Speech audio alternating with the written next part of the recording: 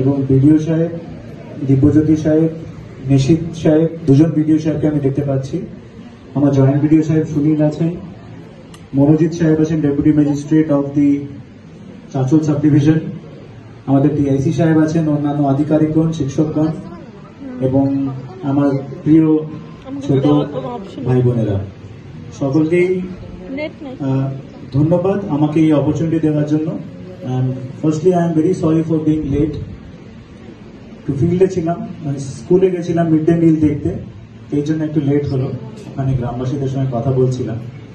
এবং এটাই সুযোগ, এই চাকরির মাধ্যমে এই সুযোগই আমি পাই, যেটা আপনাকে এসডিও সাহেব বলছিলেন।